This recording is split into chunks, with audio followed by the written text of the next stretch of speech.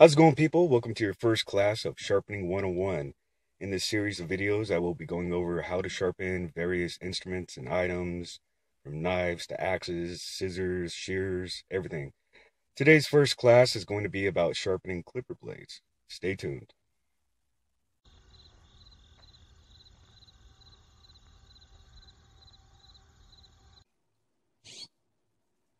Hey guys, in today's episode, what we're going to be doing is learning how to sharpen clipper blades.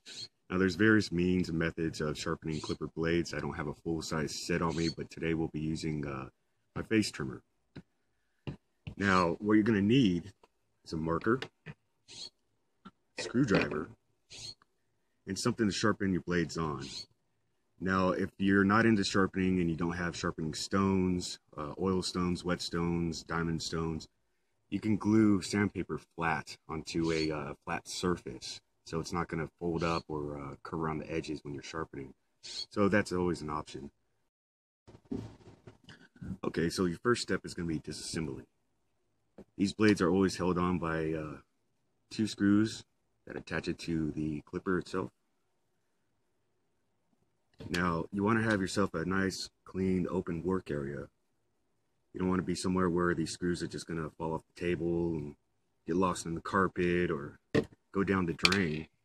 So we're going to go ahead and put these aside so we don't lose them.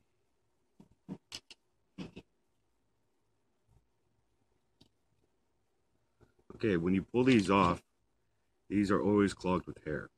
Okay, there's going to be oil in here, there's going to be hair in here. You could just go ahead take this off. And what you're left with is a top and bottom blade for the clipper. So we're going to clean this off so we know what we're looking with. Okay, so we've disassembled the clipper. We have the top and bottom all cleaned off. The second step is going to be sharpening them. Now with your marker, go ahead. You'll see there's shiny lines on the top and bottom portion, that's going to let you know where the top blade is riding. And your main goal is to flatten out the top and bottom. So go ahead and mark everything up.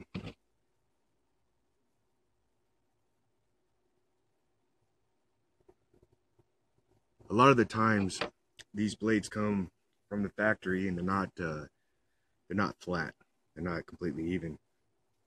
So what we're going to do is pull out a 1000 grit waterstone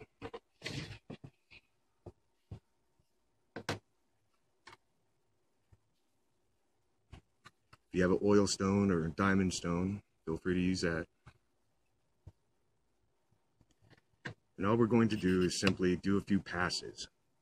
What this is going to do is form a new edge on each one of these teeth. And then we'll knock off the burr, move to a finer stone, knock off the burr, and then we'll put it back together. So you don't need a whole lot of pressure when doing this. Just a simple back and forth motion. Try to use the whole stone.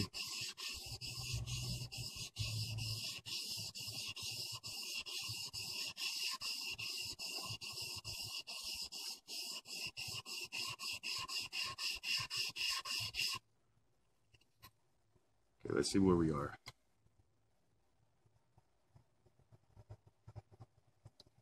It's taken off metal all throughout the center, but the sides are still a little bit low.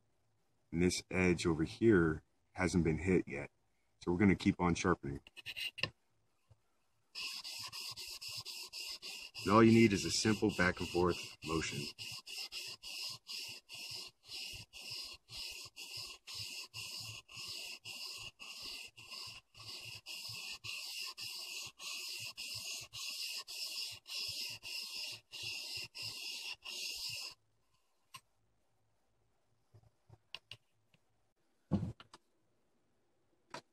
Okay, so now we're going to go ahead and do the top blade.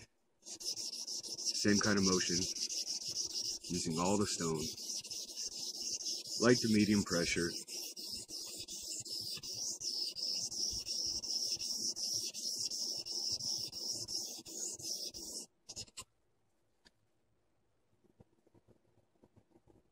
Nice. So we're all ready to move on to the third step. Third step involves taking a wire brush of some sort and you want to knock the burr back down.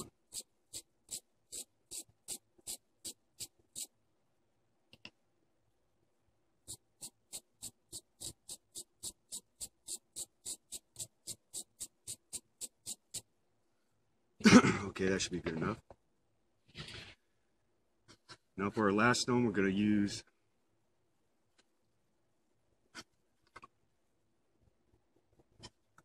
this 4000 grit Norton Waterstone.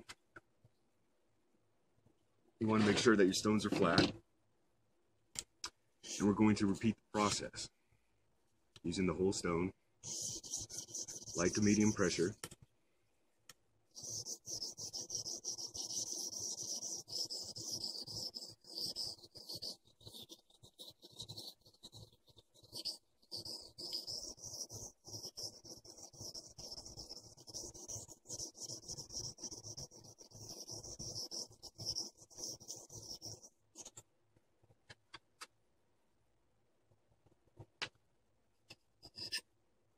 And repeat with the bottom blade.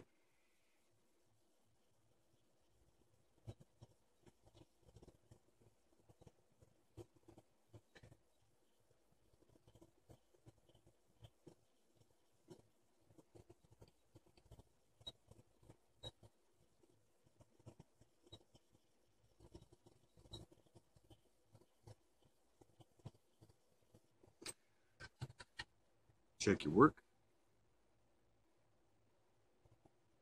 Go a little bit longer on this.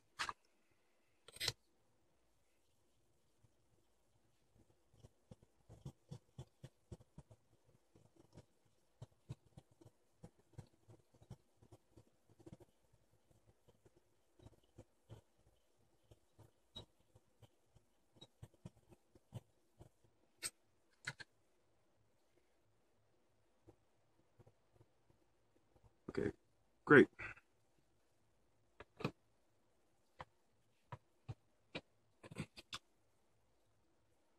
We'll go through and deburr one last time.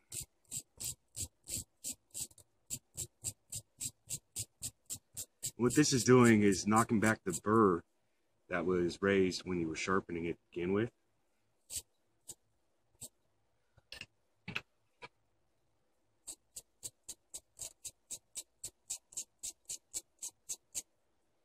All right. What we're going to do is one or two real light passes on the 8000 grit side.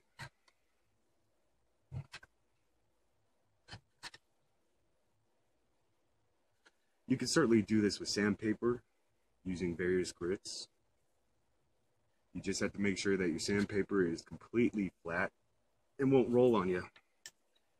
Okay, last time, and what we're going to be doing is just doing forward strokes. We'll do Let's say five.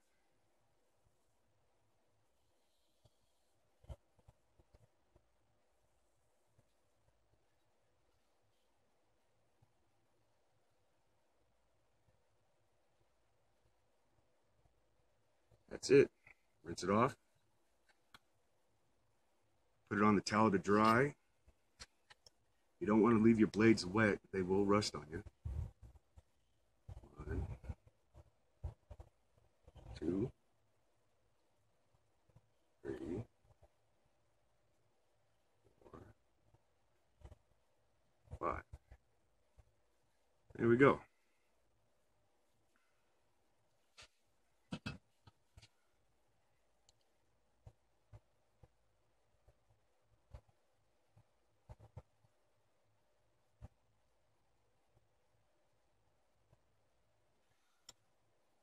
Okay, we'll dry these off and put it back together. Okay. okay, so your final step in this uh, process is going to be reassembling the two clipper blades and attaching it back to your clipper. Before you do that, you want to grab some sort of oil, and you don't need that much. Maybe a drop there, drop there, drop there, one for the back right. That's all the oil you really need. Go ahead and put the oil away so it doesn't get all over the place. Get that on top. Attach that. Now different clippers have different means of making the top blade slide across the bottom. Um, this one just slides right there in the channel. We will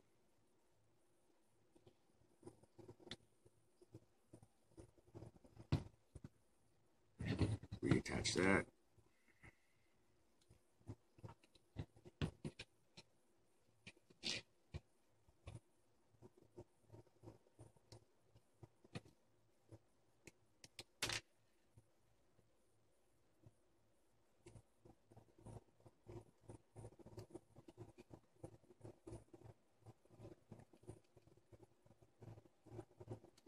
Once you have one of the screws in, you could go ahead and release the pressure off of it. Adjust it so the other screw slides right in.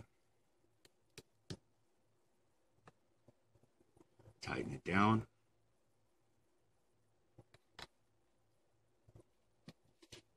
And that's it. Next, what you want to do is uh, test them out to make sure that they are cutting properly.